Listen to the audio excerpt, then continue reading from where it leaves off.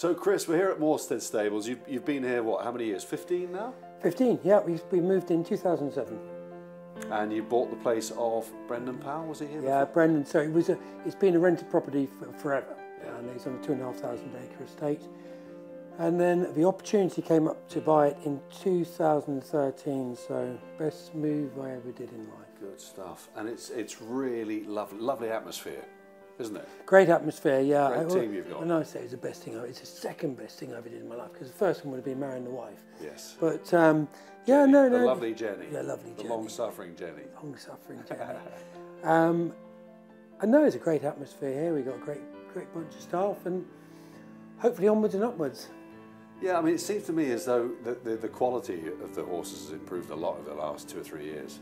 I mean, you've got some really good depth here now, haven't you? Yeah, Mike, if we go back five years ago, the average value of the average value of a horse in our yard was 8,000. And, and, you know, I just felt very much that we were banging our head against a brick wall and we've had a few, one or two better horses. And you think, God, you know, got to get people to spend some more money. And, um, and we've just gently been increasing and, um, you know, spending a little bit more money. And I, I do all the buying myself. And, um, and it, it certainly worked. You know, we've we've got a much better strength and depth for horses. Yeah, and, uh, Funny enough, a Lanzarote was one I had in my head for this, but it's this month, and uh, we're going to be a quieter month this month with flu jabs and a few snotty noses and things. So we'll just be a little bit quieter. So uh, so we miss Lanzarote and then we might try and find a, a nice chase for him anyway next time. Okay, so the Betfair hurdler repeat at that. He ran well in it last year, Yeah, he? he, would really want a little bit further than that. Okay. It's a little bit sharp for him. So he, would want um, he'd want me to move the winning post about another two or three furlongs, you know. okay. I'm not sort of blowing smoke here, Chris, but I think you place them so well. Oh, you really I love do. a bit of smoke being blown up. Yeah. Um, but no, but no, you, thank you. do do all that yourself, don't you? Yeah, I, I do. I do yeah. do that myself. You know, it's like at the end of the day, it's amazing. It's amazing. There's some trainers that, oh, you know, they, they, they it's um, they send horses to be broken away. We, you know, like we would send ours to be broken away now, mm. but um, a lot of people send them away to teach them how to jump. Uh, a lot of people get people to pick their races. A lot of trainers get other people to train their horses. But no, I liked everything to, we do here very much. We keep it very close, myself and Jen. Mm. And it's a, it's been a steady flow of winners the last few seasons as well, hasn't it? Yeah, I think you know, we, we've gradually had, getting better and yeah, better. De definitely, and and that's that's the way we want to go. And fingers crossed we can keep slowly moving that way. But excuse me, this last year we've had in 2000. 22, we had 63 winners under rules, and I think it was That's 13 point to pointers in, in a yard of our size. Yeah. That's great, and I'll be, I'll be proud of that, and I'll be proud of my team and, and my sponsors, which make a huge difference to it.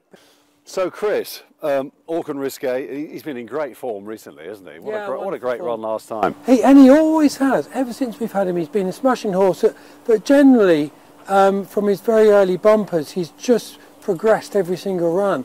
And I'd be very, very proud of it. When a horse does that, he, as you can see, he's not the biggest horse in the world. No. So I keep thinking the progression is probably going to stop, but he doesn't. He just keeps on in improving every single run. So very proud of what we've achieved so far. Yeah, and what would you have in mind for him? Because he's, I mean, he's a Saturday horse, isn't he? He's going yeah, to be running very, in, very much so. some so, big races. So his chases this year, you know, we, we, we started off at Uttoxeter and um, I wasn't too sure about his jumping. He got his bum very high and so we worked on that. And, and Flick actually rides him every day. She had an awful lot of schooling on him.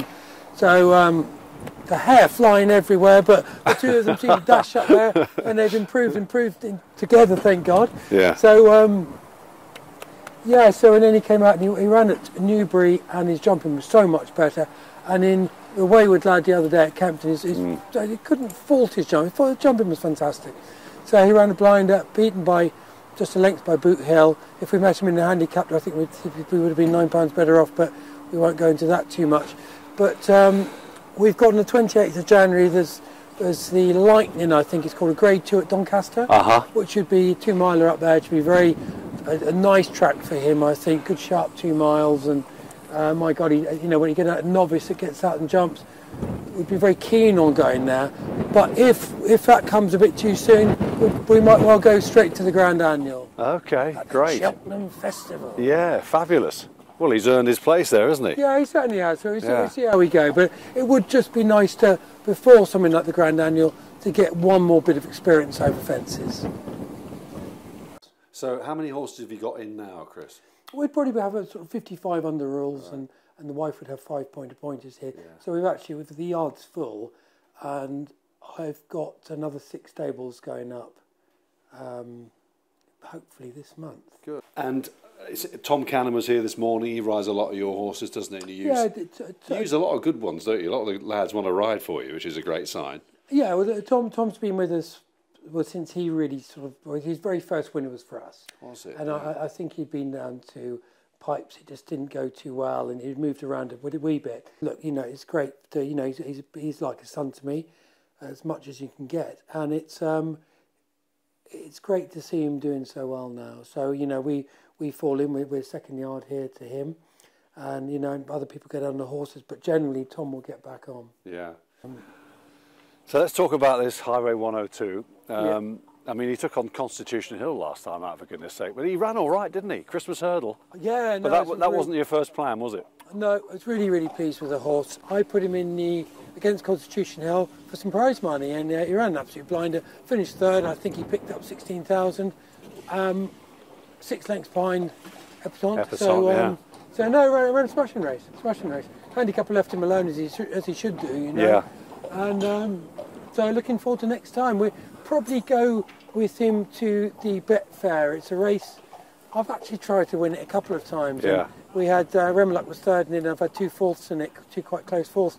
Just can't quite win it. And um, whether he's handicapped enough to win a race like that, well, we would have to see. And I think maybe he might be slightly more comfortable going right. Mm-hmm. But um, anyway, well, well, you know, as, as it is, you know, we might well go there. We might have a day at Cheltenham with him as well for the um, Coral County, Cup. county hurdle County or hurdle, Coral no, Cup? Co- Co- County hurdle, two miler. Right, keep him at two. Um, yeah, we were second in that with Remiluc Loads of as well, pace. so, uh, Yeah. yeah. he's very sharp over two. We can get out and rock and roll and see how we are. But you know, he's not getting any younger. He's eight, 143.